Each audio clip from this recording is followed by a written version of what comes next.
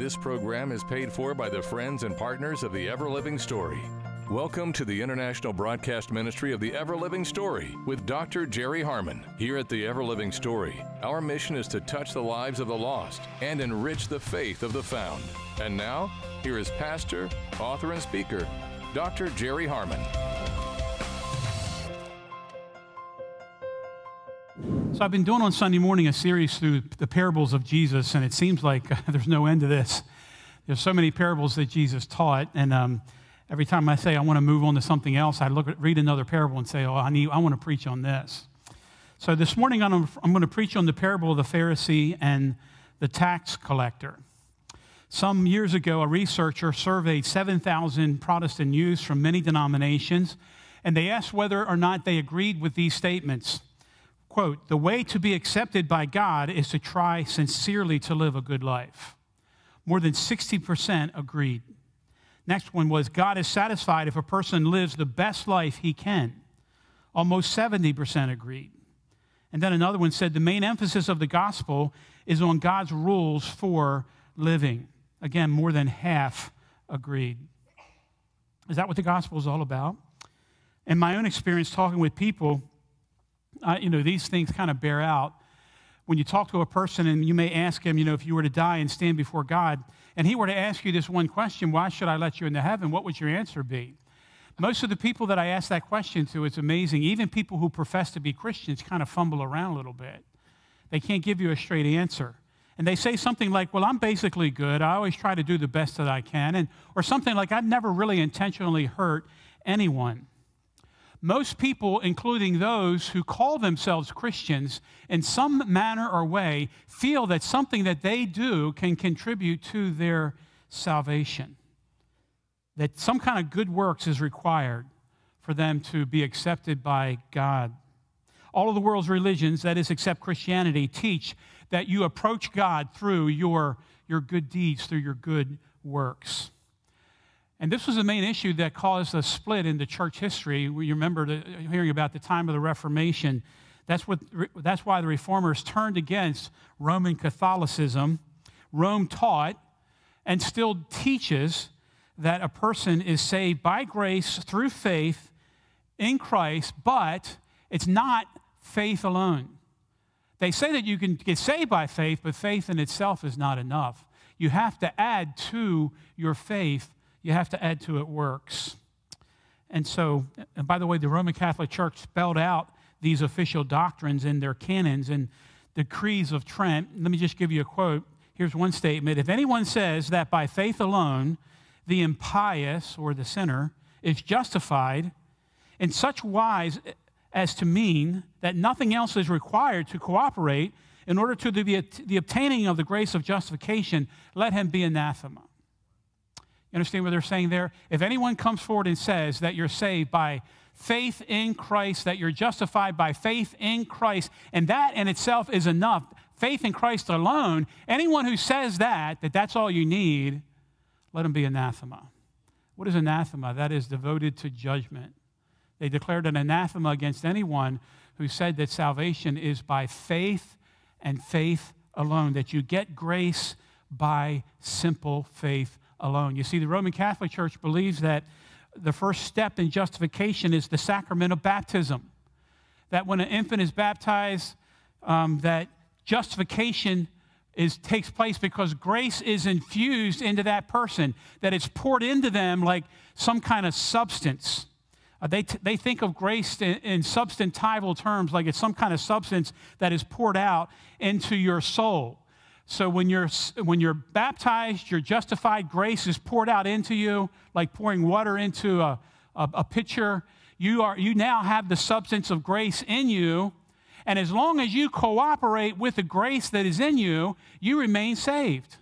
But if you don't cooperate with the grace that is in you, if you commit a mortal sin, then that justification, that grace that is in you, is killed. That's why it's called a mortal sin, because it puts to death whatever justification you had in you or whatever grace was poured out into you, then it's all of a sudden it's gone.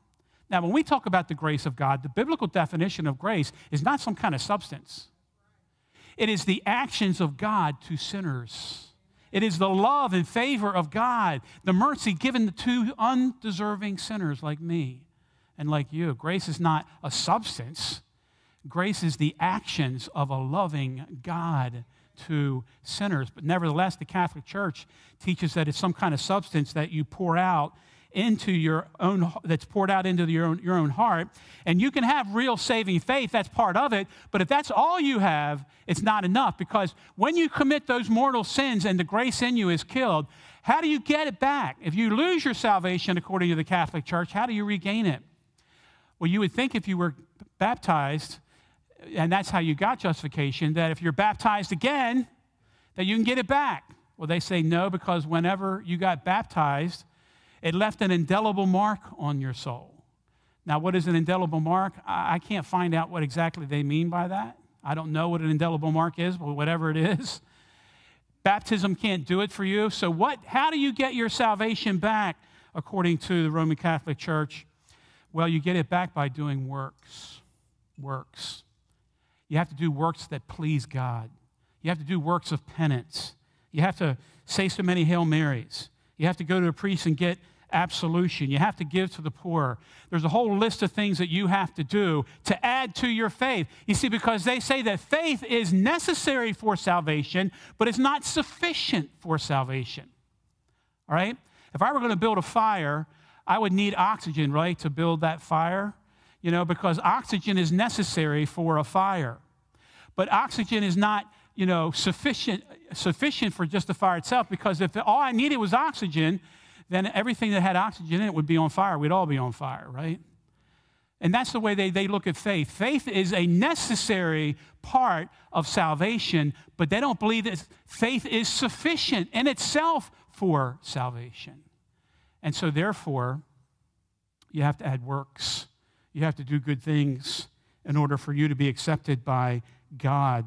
You have to do works of satisfaction in order to be justified.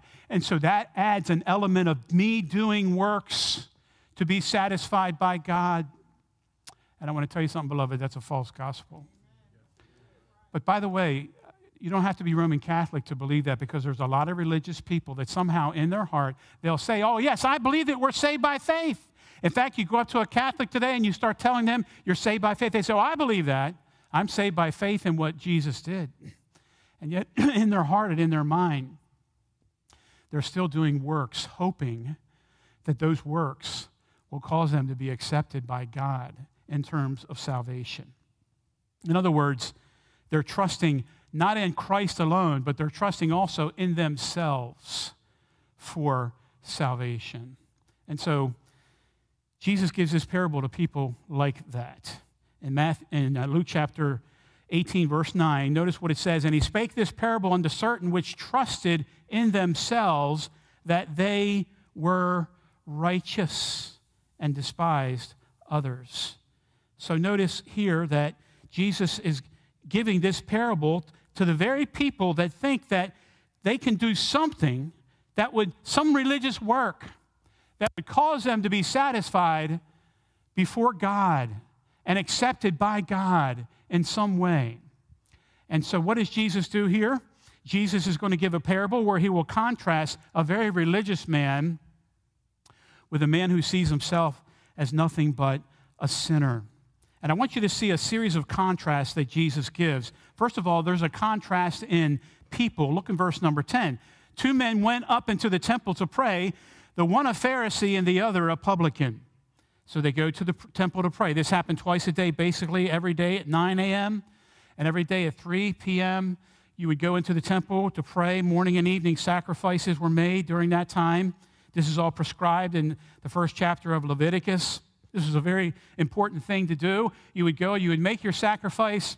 Once the sacrifice was made, then you would go and you would pray there in the temple.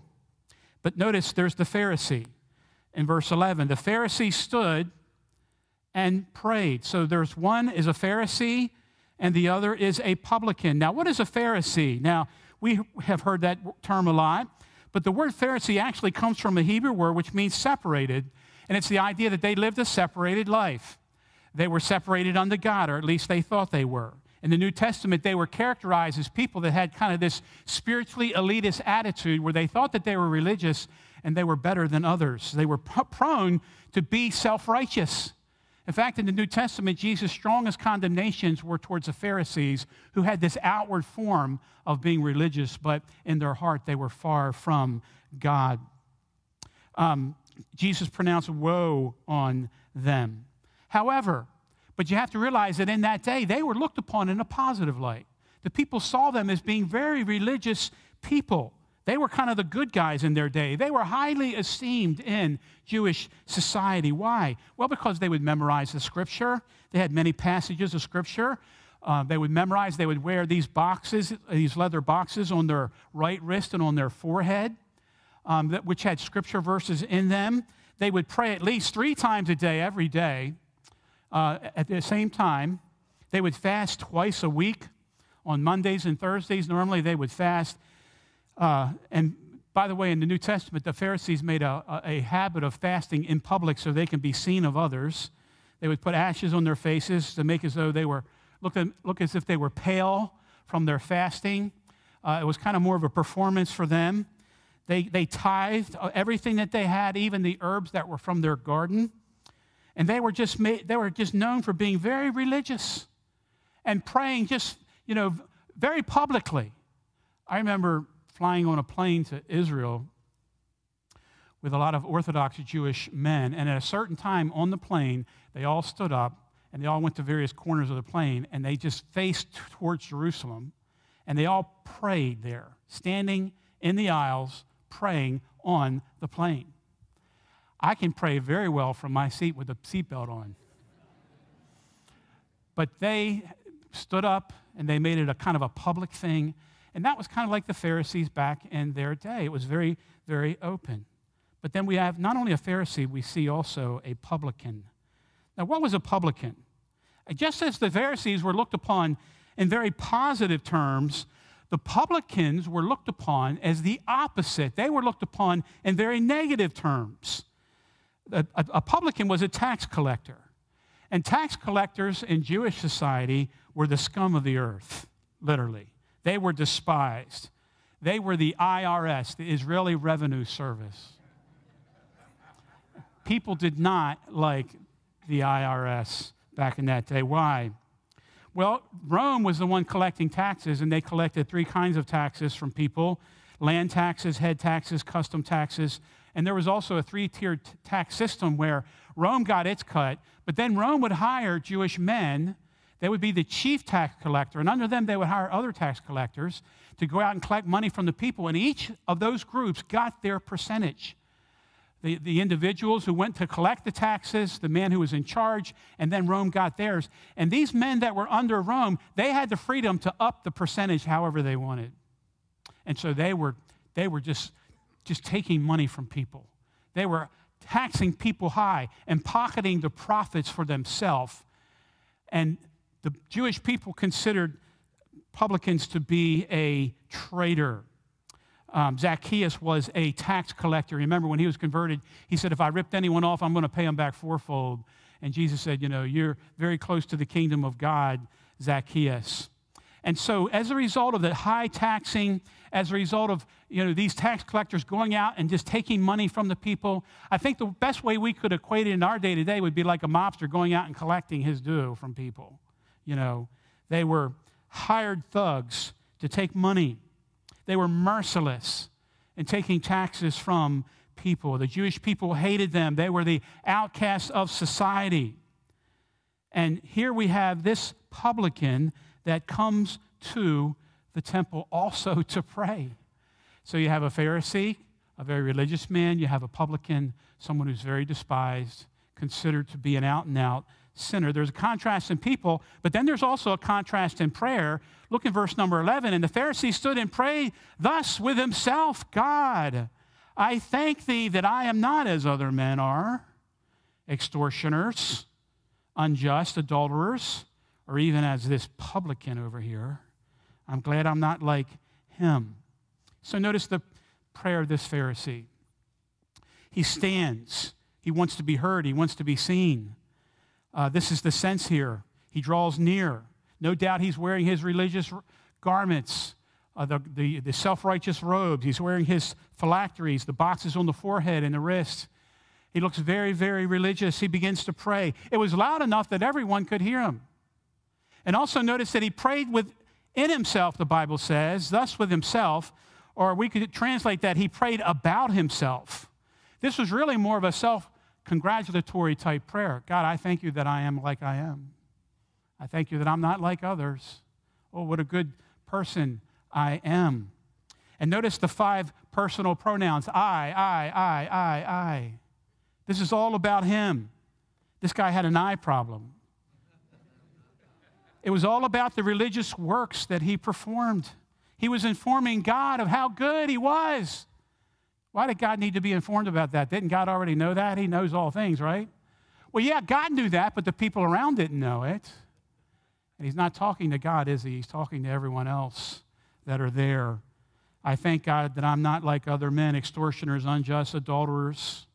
And I think that there's some truth in that prayer. I think he was a moral man. He was not a swindler. I think he probably treated people fairly and, and was not unjust. He was faithful, perhaps, to his marriage vows, a decent man. And uh, I think f- folks would be impressed by this man's outward religion. And uh, look in verse 12 I fast twice in a week, I give tithes of all that I possess. I mean, people would be impressed by that. The Old Testament required fasting once a year. But here, this Pharisee, like others, he fasted twice in one week. I give tithes of all that I possess. Again, he tithed on everything, even his herbs and spices from his garden he would tithe and give to the temple. He did more than the law required. He went above and beyond the call of duty. And so he took credit for his religious deeds, thinking that those deeds in some way would make him satisfied, uh, or make God satisfied, I should say, with him. But notice the prayer of the publican in contrast. Look in verse 13. And the publican, standing far off, would not lift up so much as his eyes unto heaven, but smote upon his breast, saying, God, be merciful to me, a sinner. And you can see the contrast there very easily, can't you?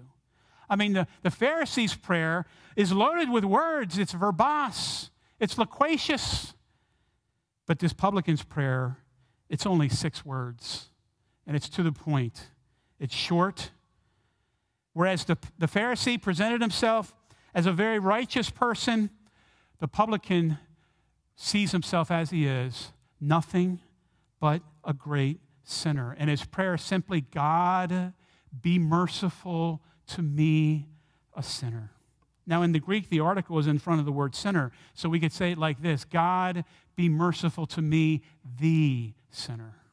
He didn't see others as sinners, he only saw himself. I am the sinner. In other words, I'm the worst of sinners. I'm the chief of sinners. The Pharisee was proclaiming loudly his righteousness, his works of satisfaction. The publican was publicly proclaiming his sinfulness. If the people could hear what the Pharisee was saying about himself, perhaps they also overheard this man. I don't think he was speaking loudly, but I think he was speaking directly when he said, I am the sinner. God, be merciful to me, the sinner. He offers no excuses for himself. He offers no explanations for himself. He offers no self justification. He has no illusions about himself.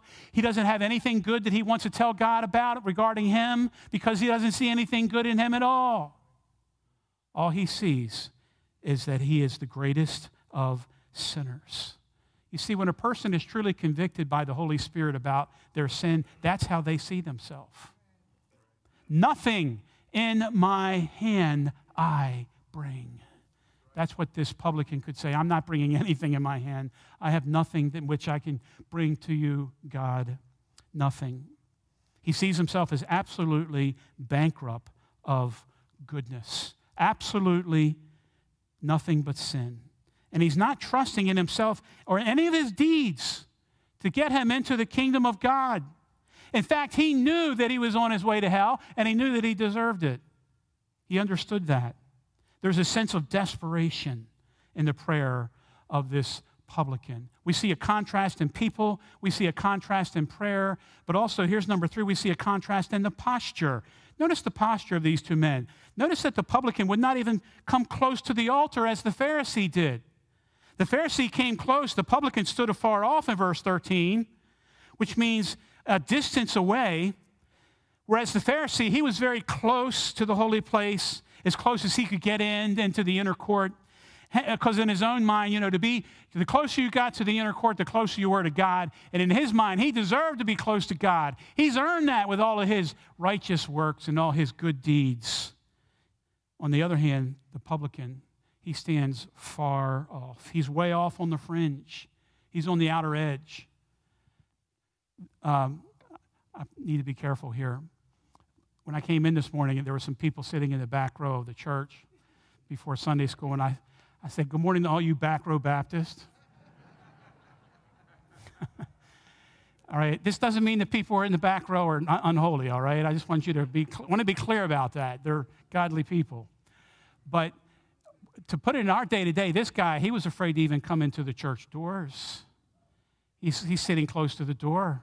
You ever hear people say, I'd come to church, I don't want the roof to fall in oh, on me. Well, they were joking about that, but this man, he wouldn't get close because in his mind, he didn't even deserve to be there. He saw himself as such a sinner. He had no right to draw near to God. And the Pharisee stood up and puffed out his chest. But the publican looked down and beat on his chest. In verse 13 again, he would not lift up so much as his eyes unto heaven, but smote upon his breast. He was humbled over his own unworthiness Normally, it was not uncommon for Jews in this day when they prayed to lift up their heads towards heaven. That was kind of the posture. We see this reference several times in the Bible. Unto thee I lift up mine eyes, O Lord, the psalmist said. I lift up mine eyes. That was a, a decent posture. It was okay to do that, except if you felt particularly sinful or humbled over your sin, you wouldn't lift up your eyes, you would drop your head. And uh, this man, he smote upon his breast. According to Alfred Edersheim, the great New Testament scholar, this Jewish man, he said that uh, this, this, is, this is something kind of unusual the fact that he would hit upon his chest in that way with his eyes cast down. It is a gesture that expresses extreme sorrow. Extreme sorrow. He felt sorrow over his sin.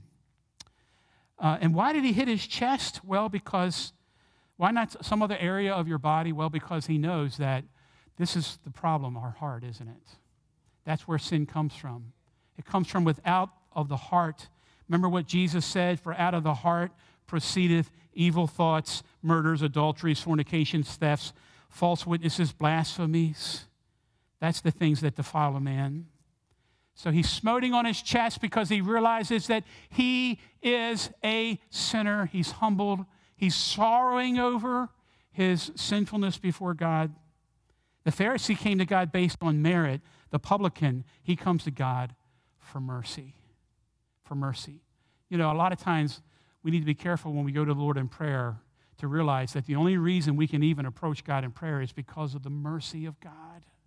We have no right to be in his holy presence other than the fact that Jesus bore our sin he, he, he took our sin upon himself. And it's only because of the mercy of God that we can even approach him in prayer, not on our merit, but on his mercy. But the Pharisee comes on merit. This man comes asking for mercy. God, be merciful to me, a sinner. The word mercy is from the Greek word, which means to propitiate or to satisfy. The word was used when the blood was sprinkled on the mercy seat in the Holy of Holies. You remember that in the Old Testament when the Day of Atonement, the high priest would enter into the Holy of Holies. He would sprinkle the blood on the mercy seat. That was the place on the Ark of the Covenant between the outstretched wings of the cherubim. And, you know, that was where God's wrath was appeased or satisfied when he saw the blood. Remember, in the Ark of the Covenant was the law of God that we had broken. And between the law of God and God looking down is that blood. And God would see the blood, and his wrath was appeased, it was satisfied. And that all pointed forward to what? The cross of Christ, where on the cross Jesus took the sins of the world upon himself. And he appeased, he satisfied, he propitiated the wrath of God for us. And this is what the, this man is referring to when he says, Be merciful, propitiate me for my sins. What is he saying? God, please apply the atonement to me. Please apply the blood to me. So, this is what this man is asking Have mercy on me. Cover my sins with the blood. Remove your wrath from me because of the blood that was shed. Have mercy. He knew that God was a holy God. He knew that God's divine wrath was on him because of his great sins and the merciful removal of God's divine wrath, that was his only hope. And let me just tell you here today, dear friend, that is your only hope, and that is my only hope. That and nothing else. It's not our works that do anything that can satisfy that holy wrath of God. Nothing that you do, no religious deed. If you're doing religious deeds thinking that some way that's going to make you justified or satisfied before God in terms of salvation, friend, you've got your hope in the wrong thing. It's in the wrong thing. Nothing in my hand I bring, simply to thy cross I cling. I cling only to the cross of Christ. I hope only in what Jesus did. The Pharisee approached God with boldness. The publican approached God with brokenness. You see, the Pharisee, he was very bold in his approach. He was happy to stand with his arms out and his face up to God, assuming that he was uh, certainly acceptable to God. He could even look eyeball to eyeball with God, he thought in his own mind. But the publican would not lift up his eyes. He was overwhelmed with his guilt. His posture shows just how sinful he realized that he was. Um, he feels the feel, he feels, excuse me, the full weight of his alienation from Almighty God. But then I want you to see the last thing here. There's a contrast in people, there's a contrast in prayer, contrast in the posture, but then there's a contrast in pardon. Look at verse 14. I tell you, I love when Jesus says that. I tell you. Why does he say it like that? Well, because Jesus speaks with authority. If he says it, it's done. The other rabbis, they were quoting one another constantly. This rabbi would quote this rabbi, this rabbi. Jesus didn't quote any rabbis. He didn't need to quote anyone because he was the final authority. Jesus said, I tell you. To watch an extended version of today's message from Dr. Jerry Harmon, go to everlivingstory.org.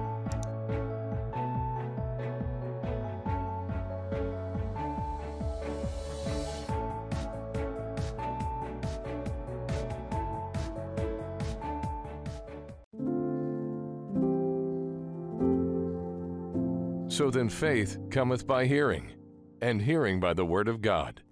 This is the Everliving Story with Dr. Jerry Harmon.